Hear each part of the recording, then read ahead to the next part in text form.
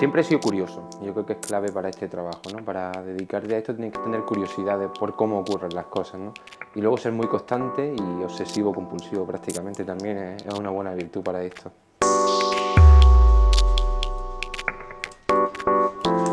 Concretamente, nuestro grupo de investigación trabaja en estudios del genoma, las instrucciones de las células del cuerpo humano y muy concretamente unos trocitos de este genoma que son capaces de moverse de un sitio a otro y producen enfermedades en seres humanos. Intentamos entender cuándo se mueven, por qué se mueven y qué tipo de enfermedades producen.